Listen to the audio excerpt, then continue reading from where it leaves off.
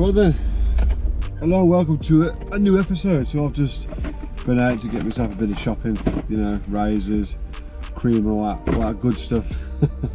oh, and a toothbrush.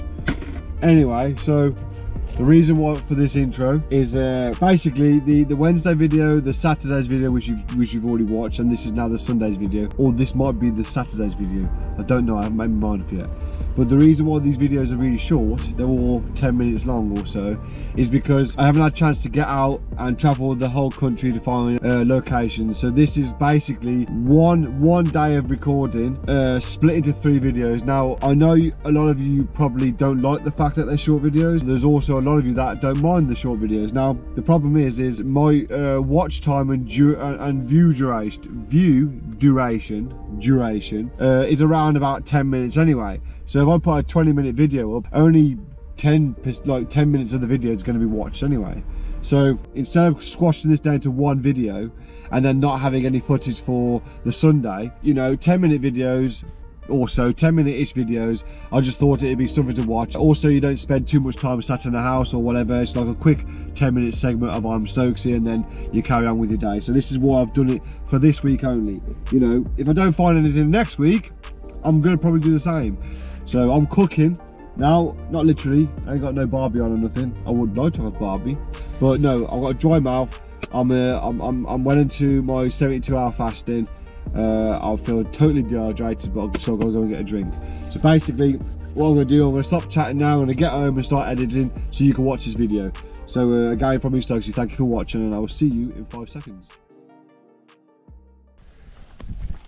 The first thing we come across is this X-Reg uh, Subaru Impreza. As you can see, she's been there a long time. I mean, look at the foliage on the bonnet. This is a poor, poor thing, this is. I mean, it's been there a long time. Look at the, look how sunk the wheels are. Tyres are flat as well. Let's see if she's open. Oh, she's open. Oh, wow for the seat covers. That's pretty cool that is.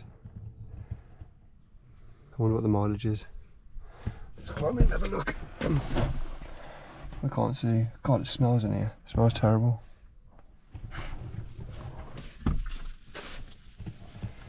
But yeah, this certainly shouldn't be here. But as as we all well know, we have a different mindset to the people that own these cars.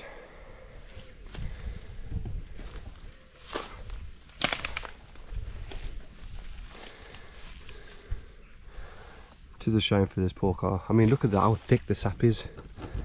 My God, that is thick, being under this tree. Unreal. Let's look around this side. Yep, this side isn't any better. There's a registration if you want to do a bit of research on this one. Again, she's been here a very long time again.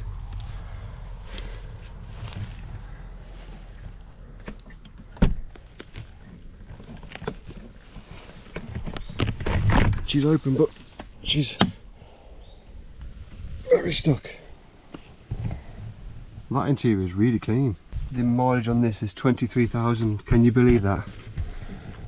23,000 and judging by the steering wheel how clean it is this is a legit 23,000 Range Rover. Look how clean it all is. Look how clean the buttons are. They've still got the shine on them. Oh this is so sad.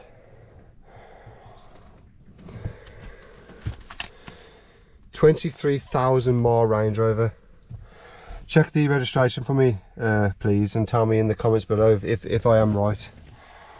I cannot believe this is a 23,000 mile Range Rover.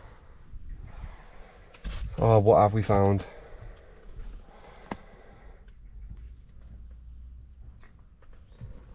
It this it, well look how clean the, the, the clocks are on the dash. They look brand new. They look literally brand new. I am so shocked. I mean, look how clean all the buttons are and the original stereo tape player. Even the the the the the, uh, the heat the heater controls all in pristine condition. Let's check the. Uh... Yep, look how clean that is. This is an absolute crying shame. Hasn't even been used, and look how shiny it is. Oh God. Why do people do this? So this is what this is what you call heartbreaking.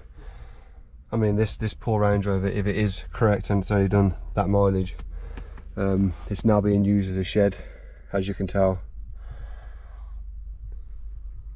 I mean, it is genuinely heart wrenching.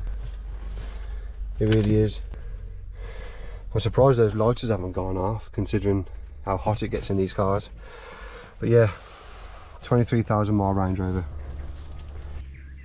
I mean, look at that. You'd think that this thing has super, super high mileage and it's been abandoned because it's like, you know, end of life type of a vehicle. But the mileage on this Range Rover is just unfucking real.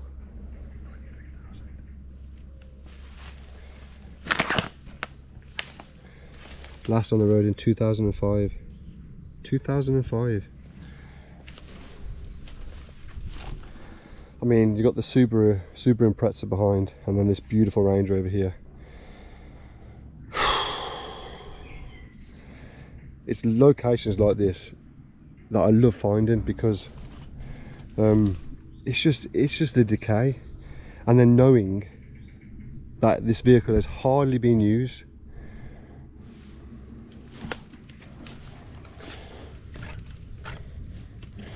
Let's see if we can't pop the bonnet. Well, we've just popped the bonnet on it. Let's have a look. Right then, let's see if this is uh, true to what the mileage suggests. Oh, she is clean under there. She is very clean. Very, very clean indeed. Wow.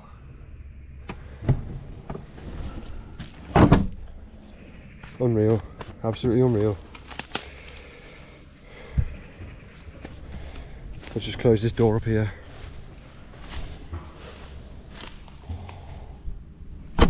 Watch this shut. But yeah, look at all the tread of the tyres. The tyres are almost brand new. I mean, underneath, she isn't that bad really.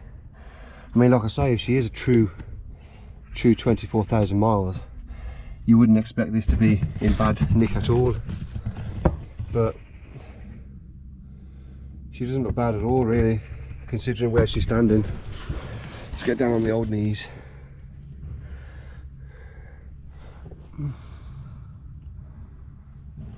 I mean, she looks pretty decent.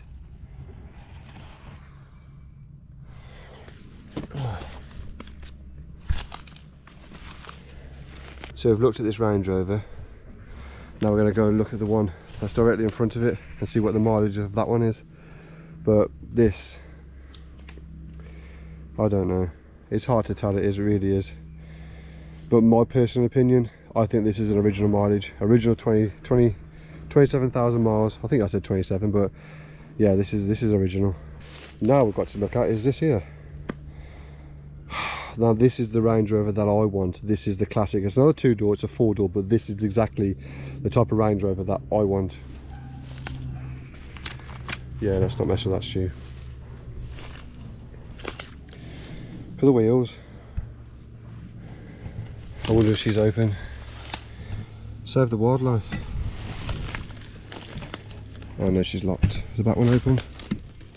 No, she's locked. She's locked tight. Let's go around the other side.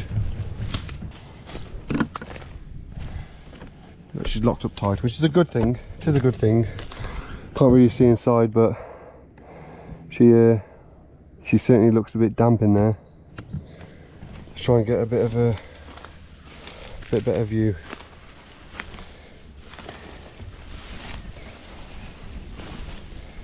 Look at that ladies and gents. That is a Range Rover. Wow, what a classic. Oh, then, so this is a, an older Range Rover compared to that one. But this is the style that I love. Especially in a two-door, but this is the style that I love. This is blue, so this was last on the road in. I'm not going to scratch that off, I can't really tell. Um, I can't really see, but I'm not too sure. I think the blue ones are 1990 something. So I'm pretty sure this is the, the 11th of the 3rd, 1990 something. Um, but as you can see, she's certainly um, been off the road a long time. The bonnet to this one's open, so maybe we can get into it. Well, we need to vacate this area. I've just disturbed the wasp nest. Need to move. Um, there's a registration anyway, so you can kind of see and gauge the mileage and the ownership and all that good stuff. Um, someone's obviously clearly broke the handle off and then left it there to the the rear uh, access point. But yeah, beautiful Range Rover, left left for dead, and it has been left for dead. I don't care what anybody says. This to me has been left for dead, and it's kind of heartbreaking because there's a lot of people out there that would love to restore one, to restore this particular Range Rover. Um, I don't think it'd be worth the money because of how how bad she is, but she might have good bones. But judging by this step, I uh, I don't think so. Right then, let's look at the uh, the other cars out here. This is a uh, is it a Nissan Almera or something?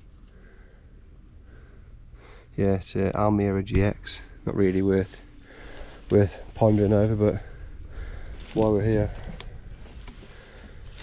And then in front of that is a Citroen Relay. Yeah, there's not there's no point looking at these. I mean, I know you probably want me to look because people might like these, but this Almera, uh, Citroen Relay, not really, not really content uh,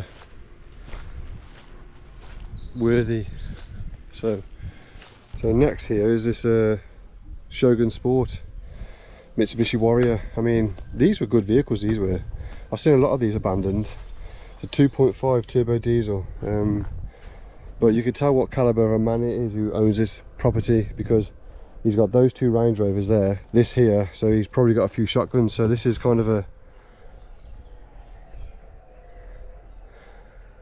a proper dodgy location.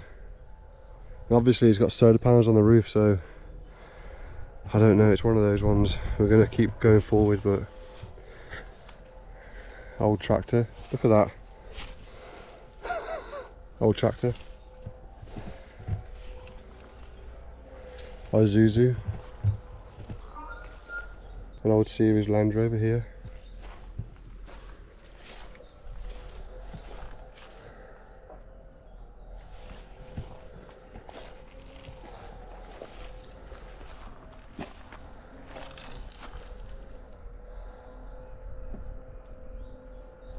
Another Isuzu there. So, awesome uh, old school Range Rover, four door. Another beautiful low mileage Range Rover. Um, obviously, shouldn't be here, but it is. Uh, I've walked up here, there's nothing really worth recording up there. To have a Subaru and Impreza there and those two Range Rovers, especially that middle one, is kind of heartbreaking. But this is this is the order mentality. I mean, to us that's watching, this is a crying shame, but to him that owns these, these are just uh, no longer needed accessories. And it's kind of heartbreaking because if that Range Rover is a genuinely low mileage Range Rover, that there is an absolute crying shame. So uh, if the video is long enough, I will put this video up as one, but I don't think it's going to be really worthy three cars for one video, but it might turn out well if I edit it right. So I'm to end the video here, but if I find anything else, I will add to it. So as always, from me Stokze, thank you for watching. Remember, don't limit yourself. I'm sweating like you wouldn't believe and as always keep car hunting and uh, I'll see you I'll see you on the next one